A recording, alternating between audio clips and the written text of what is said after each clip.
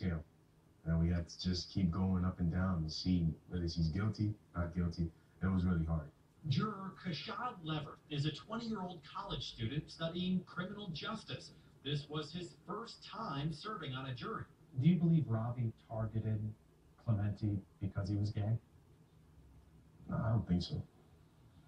I don't think so. I don't think he did it because he was gay. There was no proof that he was homophobic. That's what Ravi's lawyers argued during the trial as they defended their client against allegations that he was anti gay after he recorded his roommate having sex with another man. Leverett says he believes Ravi made a foolish and poor decision.